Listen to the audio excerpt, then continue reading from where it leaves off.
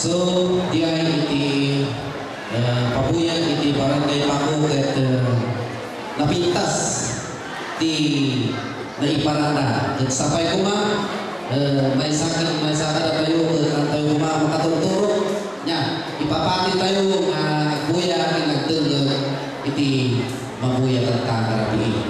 So madam. Yes.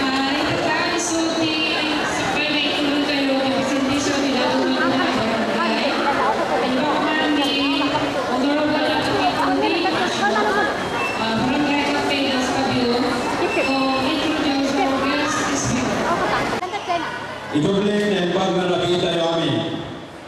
And so, our guest speaker for tonight was born on November 8, 1949 at Baoco Mountain Province. To finish his elementary education at the Otoban Elementary School, Baoco Mountain Province.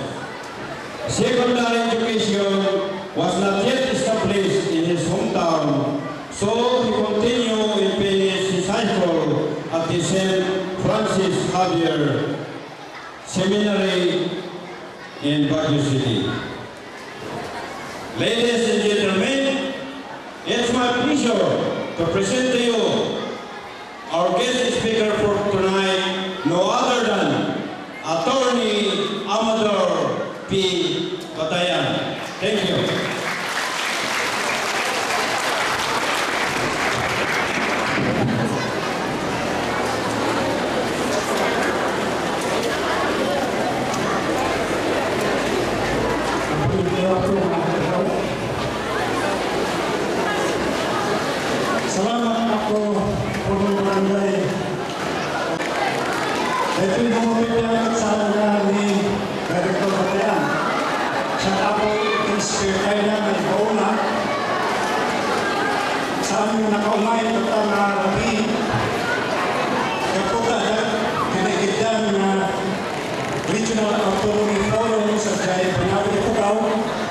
Nakasakulan na representar na iti opisina tayo ng National Commission on Indigenous Peoples.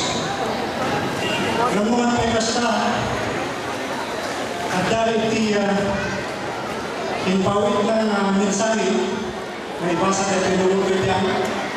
Kadagatisan na makakamukan niya siya kapo ni Atty. Siberido Manuel Monique isulti madama nga legal officer of the National Commission десятое ноября. Контраксата Никумана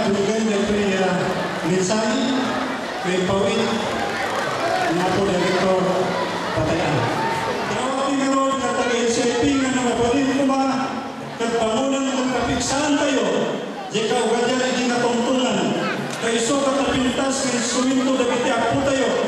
po nga sa ubang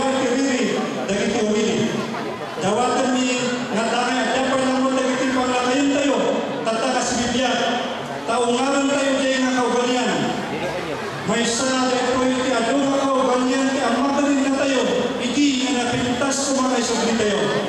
Isong patuloy ko yung katibati ka dagiti barangay officials kan papangulong tayo nakadalan na.